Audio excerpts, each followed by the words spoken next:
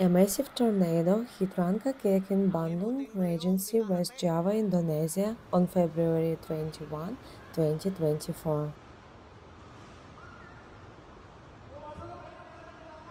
Approximately 600 houses have been reported as damaged, with 150 of them suffering severe destruction.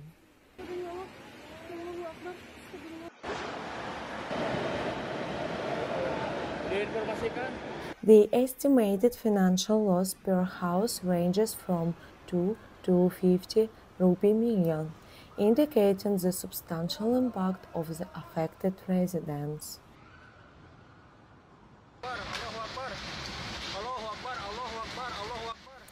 Additionally, heavy rainfall accompanying the tornado exacerbated the situation, leading to flooding in the residential area.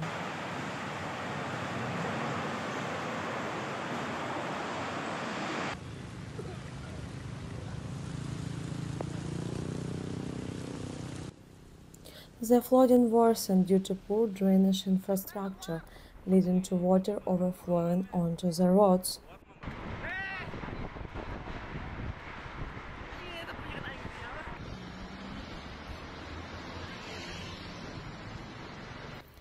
The community affected by these multiple natural disasters is now facing significant property damage and infrastructural hurdles.